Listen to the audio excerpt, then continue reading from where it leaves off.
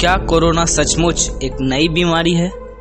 आज पूरी दुनिया भर में लगभग दो लाख छियालीस हज़ार लोग कोरोना से पीड़ित हैं, जिसमें से दस हज़ार लोगों की मौत हो चुकी है। और बात अगर हमारे भारत की की जाए तो यहाँ पर एक सौ पंचानवे लोग इससे पीड़ित हैं, जिसमें से चार लोग मर चुके हैं। मैं आपको यह बताना चाहूँगा कि यह तीसरी बार है जब कोरोना का कहर हुआ है। पहली बार इसकी पहचान 2003 में हुई।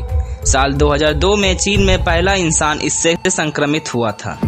साल 2002 से 2003 में लगभग साढ़े छह सौ लोगों की मौत हुई थी। माना जाता है कि यह बिल्लियों द्वारा इंसानों में उस समय फैला था। ये भी एक कोरोना जैसा ही था, मगर ये कमज़ोर था, जिसके कारण यह तुरंत खत्म हो गया। दूसरी बार इसे 2012 में सऊदी अरब में देखा गया। इससे 800 से अधिक लोगों की जान गई थी। यह वहाँ पर ऊँटों के ज़रिए इंसानों में फैला था। यह वायरस पहले वायरस के मुकाबले ज़्यादा शक्तिशाली था, मगर ये भी खत्म हो गया।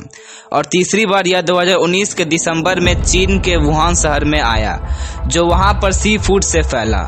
और आपको इसके बारे में तो पता ही होगा कि ये कितना शक्तिशाली और खतरनाक है, और अभी तक इसका इलाज भी नहीं ढूंढा जा सका है। कोरोना वायरस जूनेटिक है, जिसका अर्थ है कि वे जानवरों और इंसानों के बीच संचारित होते हैं। क्या कोरोना ठीक होने के बाद दोबारा हो सकता है?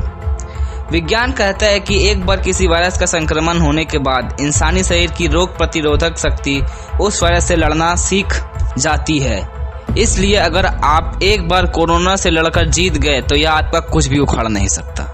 आशा करता हूँ आज का वीडियो आपको पसंद आया होगा, और अगर पसंद आया तो इसे अपना बहुमूल्य लाइक ज़रूर दे। और अगर आपको ऐसे और वीडियोस देखने हैं तो हमारे चैनल को सब्सक्राइब कर बेल आइकन को प्रेस करके ऑल का ऑप्शन ज़रूर सेलेक्ट करें। यार मिलते हैं न्यू वीडियो में तब तक के लिए जय धरती माँ।